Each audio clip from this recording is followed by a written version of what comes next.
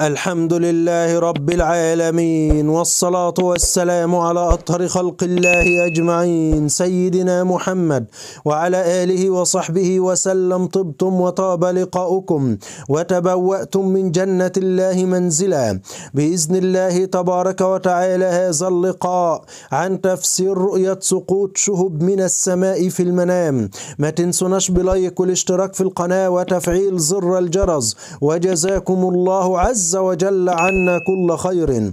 إذا رأى الحالم الشهب في المنام تسقط على منزله من السماء دل على فقدان. أحد أفراد الأسرة والله أعلم. إذا رأى الحالم الشهب تسقط من السماء دل على الدمار أو الأزمات التي تحل بهذا المكان والله أعلم.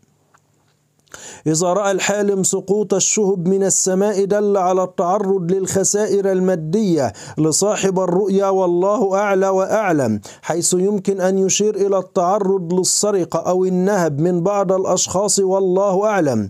إذا رأى الحالم نيزك يضرب الأرض في المنام دل على تغيير الحاكم أو الملك أو الرئيس والله أعلم. إذا رأت المرأة المتزوجة نيزك يضرب الأرض في المنام دل على التغيير من الحسن للأسوأ والله أعلم. إذا رأت المرأة الحامل نيزك يضرب الأرض في المنام دل على التخلص من الظلم والله أعلم. إذا رأت الفتاة العزباء نيزك يضرب الأرض في المنام دل على زوال الظلم والله أعلم. إذا رأى الحالم نجمة مضيئة على كتفه في المنام دل على تحقيق الأهداف والله أعلم.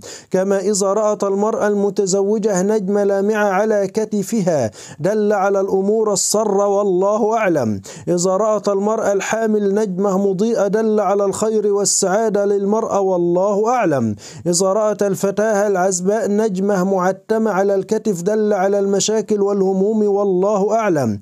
إذا رأى الحالم نجم البحر في المنام كان إشارة إلى بعض الخيرات والله أعلم. إذا رأى الحالم نجم البحر في المنام دل على تفريج الهموم والله أعلم. كذلك يمكن أن يشير إلى تخطي الفترات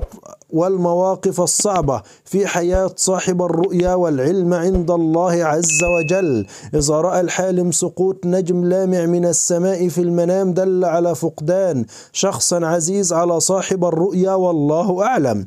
إذا رأى الحالم سقوط نجما كبير من السماء دل على موت عالم أو شخصا صاحب مكانة رفيعة وعالية والله أعلم.